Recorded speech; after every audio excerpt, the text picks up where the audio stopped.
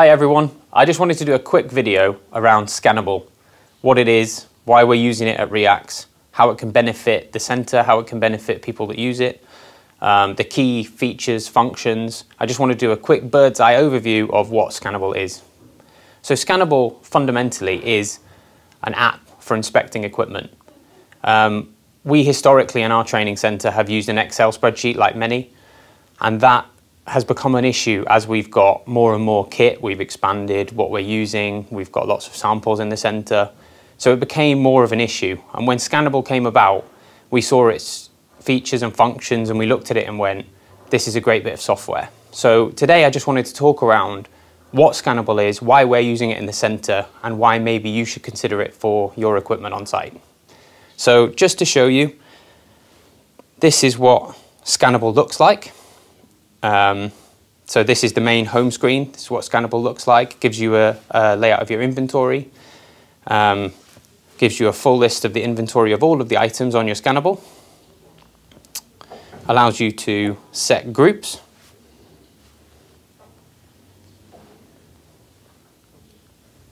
Fabulous, right. So today I'm going to show you some examples of some of the kit that we use in one of our working at height classrooms, the kind of tags the barcodes, how you can log those items, and therefore how you can have them on your scannable app. So we've managed to bulk upload everything from our training center spreadsheet into the back end of Scannable. And we've begun the process, and we've done probably the majority of the center now, of adding it to Scannable with either NFC tags or the manufacturer's barcode. So I've got a few examples here. So an example is this Petzl helmet.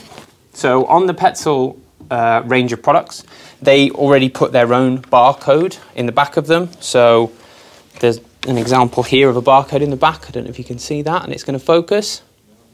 Um, so with Petzl products, you can use the barcode from the manufacturer on the back. The same applies to Skylotec and a number of other manufacturers that have inbuilt barcodes. That barcode links to Scannable and therefore allows you to log items on their system. The alternative to that is NFC tags. So there are variations of tags for NFC tagging. Scannable utilize these to put onto the products. So there's zip tie variants with a uh, NFC tag built in. There's a more heavy duty version of the NFC tag. Um, there are stickers that also have NFC tags attached. So there's lots of different variations of the tags, and this is by no means the, the extent of their range. There's about 15 different variations of an NFC tag. But fundamentally, the NFC tag sits on the product and allows you to very quickly access that product on the scannable system. So I'll give you a couple of examples of that now. I'll pick. So this is a Finch work position lanyard. Um, and on here, it has a scannable NFC tag. So it sits right next to the labeling on this Finch. So if I take my phone now, I open it up, I open the NFC reader, and I hold this NFC reader to the tag. It then brings up that particular item on Scannable. And as you can see from here on the screen, it passed its inspection. The next inspection is due on the 14th of June 2024. It has an NFC attributed to the item. It gives you the serial number, name, date of manufacture. It's owned by Reax in this case. It also, when you go next on the next tab, it gives you the specifications, it gives you the manual, the data sheet, the declaration of conformity, the loadings. And in this case, under groups, it also tells you what classroom in our training centre that piece of kit is allocated to, in this case, the working at height classroom. So that in itself is a really great way of tracking down where this piece of kit lives, where it should be, its history. Um, on this history tab we've got here, it gives you um, when it was added to the inventory, when it was last scanned, who inspected it. It really gives you a real depth of detail around this item. So I'll give you a couple of other examples while I'm on it. So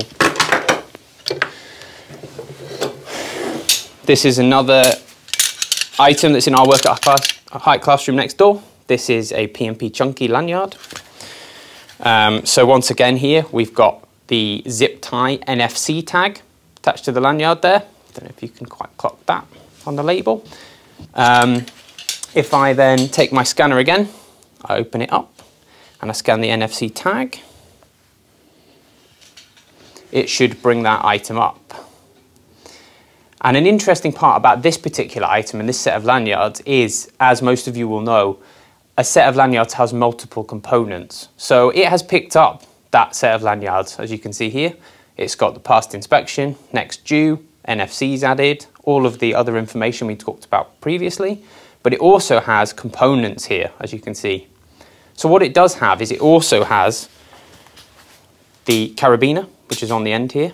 That is logged as a separate item for inspection against this particular set of lanyards as a component. It's also got the scaffold hooks on the end of the lanyard.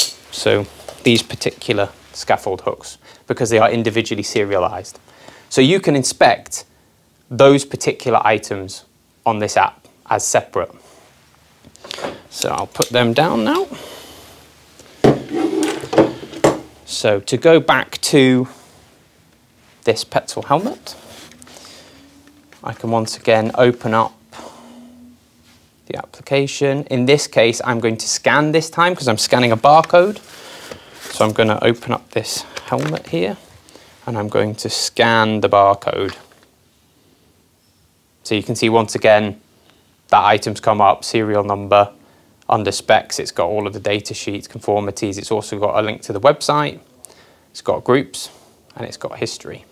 So all in all, Scannable is a really easy way of having your entire inventory in your pocket. It's a really easy way to look up an item. It's a really easy way to go, you know, I could do with finding out when the next inspection is. Because uh, the thing that comes up more and more with the people that we're training is it's all well and good you giving Bob, who works for you, a set of kit. But how does Bob know that that kit is inspected before he begins to use it on site? Um, another interesting feature of Scannable, which I think is really relevant now, is that you don't need the Scannable app to find out information about a product if it has an NFC tag. So you just need an NFC enabled phone, something with Apple Pay, something you use with contactless payments, pretty common now. Um, the only caveat to that is that NFC tag, uh, NFC readers are in various different locations or different phones, so that is very specific to the, the make of phone. In my case, my NFC reader is at the top of my iPhone here. So I'm going to take an item that you can see I'm not in the app. I'll open it and I'll shut it down.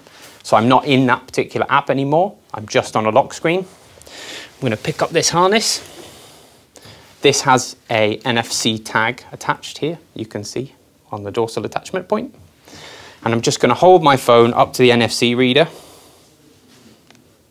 And it's not going to work for me, obviously.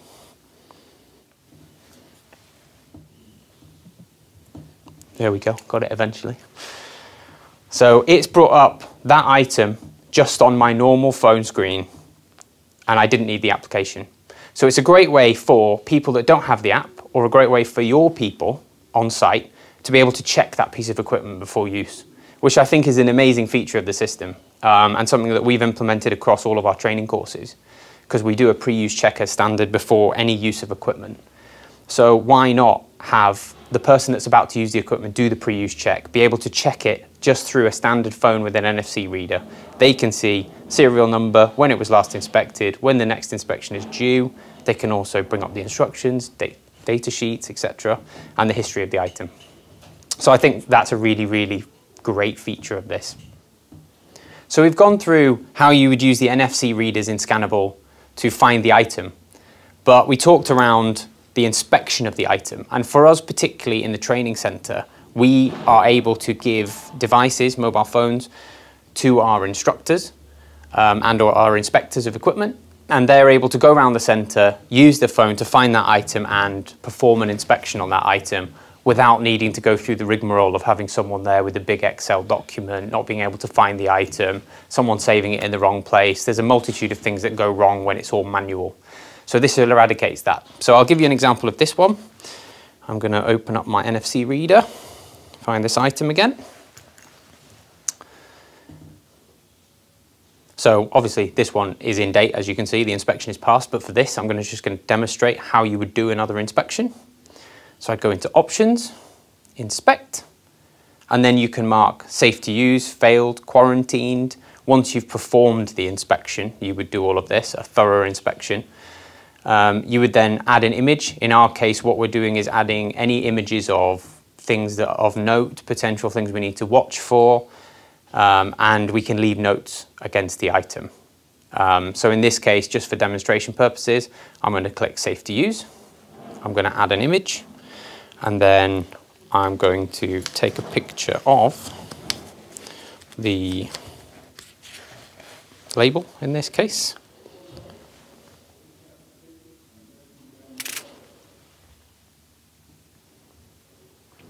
Um, and I'm going to just complete the inspection.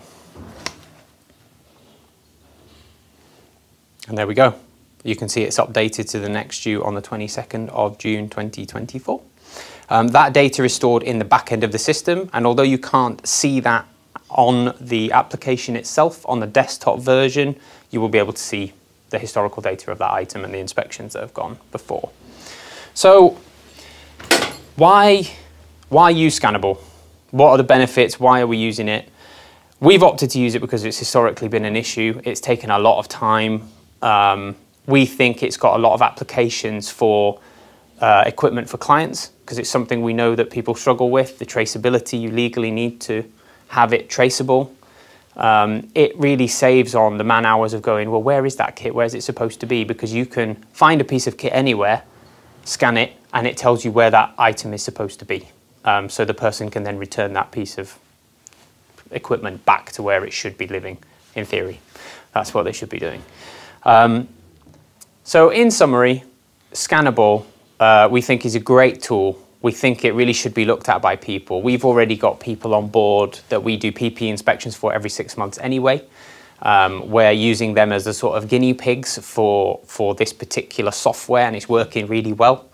So we have ultimate control over their equipment. Um, we log it on the system for them, we tag it, we then provide them with the equipment back, tagged and everything. Their people can check them directly with the piece of equipment, um, but they get a log into the back end of the system so that they can see the equipment on there in the desktop format also. The thing that that does uh, from the company's point of view is it keeps control of what items are on the list, what can be deleted, it can't be altered. So adding items would be down to a discussion between the company and ourselves, as well as inspecting the piece of kit would be between the company and ourselves. We can edit the settings so that you guys can complete inspections if you uh, had a person that was competent to do so, or we would continue to do the inspections on a six monthly basis. Um, so if you're interested, um, at all in Scannable. I think it's a great tool. I think it takes a lot of the aggro out of it. Please get in contact. Um, we can do scannable tagging at source. So if you buy the equipment from us, part of our service will be to do that for you, upload it to the system. So we take all of that headache out of it. Um, and we can send it to you with logins to the back end and it's already pre-plugged in the system. So that is an overview of Scannable, why we're using it in the training center, what we're using it for, what the potential benefits might be of using it yourselves. So if you are interested in it, get in contact with our equipment team and we'll be happy to answer any of your questions.